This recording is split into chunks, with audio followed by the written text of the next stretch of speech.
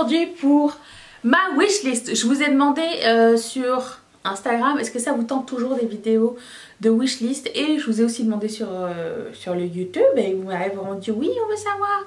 Il faut savoir que ma liste de wishlist comprend 10 articles en ce moment et euh, qui ne sont pas juste centrés sur la beauté, enfin du maquillage. mais je vais vous les partager avec vous parce que vous m'avez demandé ce que, ce que j'avais choisi. Et aussi, euh, si vous possédez un de ces produits, dites-moi est-ce que ça vaut la peine que je la, laisse dans ma wishlist ou pas. Et euh, on va commencer ça tout de suite. Je tiens à dire que j'ai reçu ce collier de la part de l'une d'entre vous, Elodie, et que je l'aime d'amour. Merci énormément. Ça, ça vient de chez Jibou. Et ça, ça vient de chez Asos, je pense. Mais ça fait longtemps. Voilà, et si ce make-up vous intéresse, je vais mettre la vidéo juste ici. Voilà, commençons la wishlist. Alors celle-ci c'est de la part, c'est de la part, c'est de la part de personne. C'est euh, Sonia qui en avait parlé et j'avais jamais entendu parler de ça avant, c'est Sonia Seller. Si vous la connaissez pas, je vais mettre sa chaîne dans la barre d'infos. Euh, ce qui m'étonnerait parce qu'il y en a beaucoup d'entre vous qui venaient de chez elle. Donc, euh, elle avait parlé des chaussons chauffants. Je les ai cherchés sur Amazon Canada et la paire dont elle parle parce que c'est la seule que je trouve qui existe donc euh, pour le moment c'est la seule que j'envisage d'acheter à un moment donné. Est vendue à prix d'or j'imagine que ça doit être son influence je sais pas. Les frais de port sont aussi chers que euh, la pantoufle. J'imagine que c'est aussi parce que c'est euh, Amazon Canada et non pas un autre Amazon. Si par exemple je regarde sur Amazon State c'est pas le même prix. Donc voilà. Donc ça c'est dans ma wishlist. Après je le but du truc c'est que je je m'inspire de cet objet et que j'essaye de chercher un équivalent plus proche de chez moi, c'est-à-dire euh, dans les Walmart ou les Winners ou dans d'autres magasins où il pourrait y avoir des, trucs comme ça. Donc ce sont des pantoufles, je vous explique.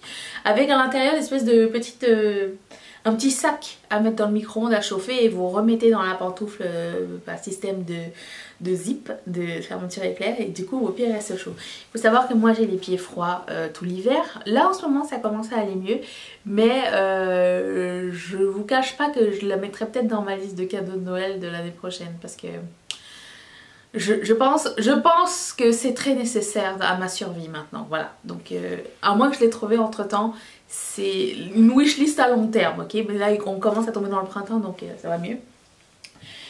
Euh, aussi un accessoire que j'ai vu euh, plusieurs fois et que j'allais acheter, j'ai arrêté, j'allais acheter, j'ai arrêté. Je sais que si je ne le fais pas, je vais arrêter parce que ça va ça risque de s'en aller. Euh, c'est la Swatch en motif marinière. Je sais que le bracelet ne va pas rester marinière très longtemps parce que moi je porte ma Swatch matin, midi, soir. Euh, je prends ma douche avec, je l'enlève jamais. Et quand il y a des bracelets avec des petits motifs, le motif finit par user. Quand c'est un bracelet uni comme celui-ci par exemple, c'est un peu caoutchouteux, vous voyez. Euh, c'est pas grave parce que c'est la couleur, s'il n'y a pas d'impression dessus. Mais quand il y a une impression dessus, euh, souvent ça finit par se barrer et ça reste pas marinière. Cependant j'aime beaucoup le... le comment ça s'appelle? Le rond, là où il y a l'heure, parce que c'est transparent à l'intérieur c'est super joli et que ça fait penser à Jean-Paul Gaultier. Et euh, à chaque fois que je vais l'acheter je me dis c'est une folie parce que bah, je trouve, je trouve, bah, après ça bon, on va parler de make-up qui est à peu près le même prix, 85 euh, dollars pour une montre, c'est pas justifié, j'en ai 10 autres Swatch. Et j'aime bien acheter des montres quand j'ai des occasions spéciales pour me souvenir de quelque chose, par exemple celle-ci je l'ai achetée quand j'étais à Naples, j'aime bien quand je voyage m'acheter une montre pour me souvenir du temps. Donc voilà. Euh, pour le moment, euh, c'est dans ma wishlist. Mais il se peut qu'elle parte à jamais et que je l'aurai pas. Et voilà. Donc euh, je me fais à l'idée. Ensuite, ah, une palette. Une palette de Violet Voss et je me rappelle plus exactement du nom. Ça s'appelle Sugar quelque chose. Je vais la mettre juste ici. Vous pouvez voir la photo. Elle, elle semble superbe. Elle n'a pas des, des, des, revues 100% positive sur, euh, sur Sephora parce que c'est vendu chez Sephora euh, France, non.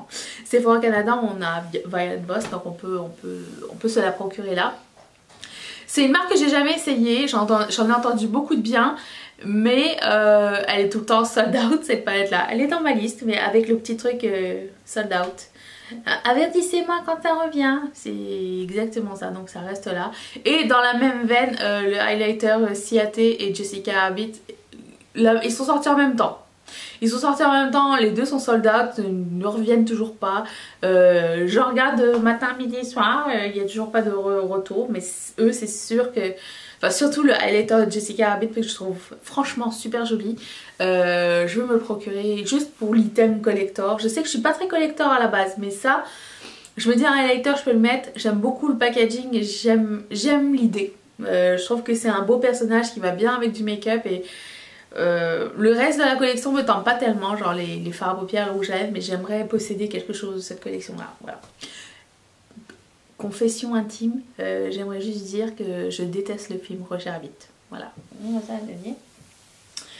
Ensuite, euh, alors je vais vous parler d'un des sites accessoires que je préfère au monde, mais qui est pour moi très cher aussi, mais que je surveille je surveille quand il va y avoir une petite, euh, un petit solde ou quelque chose. Là, je vais prendre euh, ces boucles d'oreilles. Qui sont des boucles d'oreilles sirènes euh, à pierre précieuse. C'est pas 6 et non c'est cher. C'est parce que c'est de la fantaisie quand même. c'est 45 dollars US qui fait quand même, je sais pas, à peu près 60 dollars canadiens. Pour une paire de boucles d'oreilles de fantaisie, je trouve ça énorme. Euh, je cherche des dupes, je cherche euh, partout à savoir si quelqu'un qui fait quelque chose de pareil mais pas trop cher, euh, pas aussi cher. J'ai déjà commandé chez Bubble Bar et la qualité est franchement au rendez-vous, même pour de la fantaisie. Tout ce que j'ai acheté chez eux tient super bien et je pense que ça vaut la peine. Mais encore là, euh, j'attends des soldes parce qu'ils ont souvent des soldes. Donc euh, ces boucles d'oreilles là, ainsi que les boucles, d'oreilles requins, les crabes et euh, ces bagues arc-en-ciel que je trouve, mais elles sont toutes trop trop trop trop trop belles et j'y vais, je bave et je retourne chez moi. Et aussi ils ont des super jolis ear cuffs euh, que j'ai pas encore trouvé ailleurs. J'imagine qu'Aldo va bientôt en faire, je ne sais pas. J'ai l'impression que Bubble Bar c'est un petit peu euh, les, euh, les précurseurs de ce qui va venir en fait en termes de tendance. Et puis j'aimerais bien que, que d'autres marques embarquent aussi parce que ça serait cool. Qu'est-ce qui m'arrive? Et j'aime bien, j'aime beaucoup les ear cuffs qu'on peut mettre ici et qui pendent un petit peu. J'en ai pas trouvé ailleurs encore. Si quelqu'un a un truc, une astuce, je prends toujours, merci, c'est très gentil.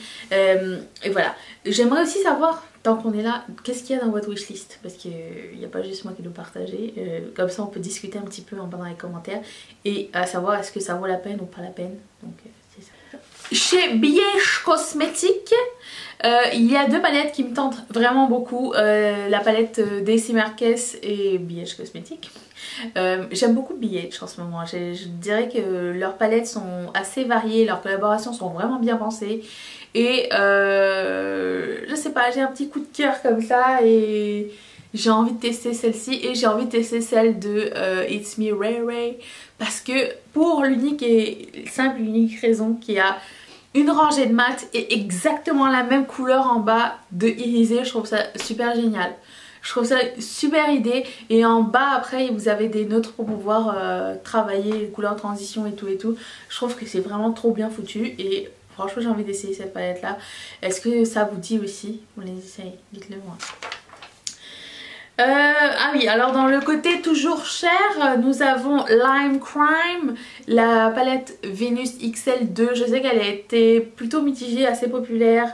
Euh, pendant un micro temps. Hein. En ce moment, on n'a pas le temps de faire des, euh, des gros trucs populaires très longtemps. Hein. Je sais pas, est-ce que vous vous rappelez de la palette euh, Riviera d'Anastasia Beverly Hills?